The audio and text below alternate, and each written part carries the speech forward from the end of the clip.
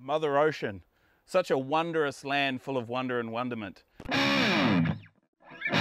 Every time I look out at the ocean, I just see a land of, of freedom and liberation. And I think that's what draws a lot of us to the ocean, is that we, we're free when we're out there. We're just completely free.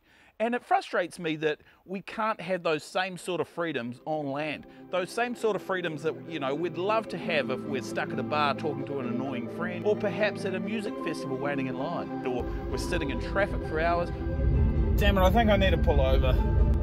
Ah, this is so frustrating. I just wish I was in the ocean where I could be free. I feel like a caged animal. But there are ways that we can get that same warm feeling of absolute freedom that we enjoy in the ocean by implementing the golden stream of liberation into our day-to-day -day lives. I think I need to put...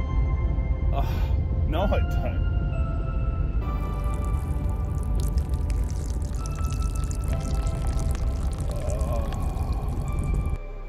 Freedom pants. Freedom pants. They're not, they're not adult diapers. They're freedom, freedom pants. It doesn't smell at all, does it?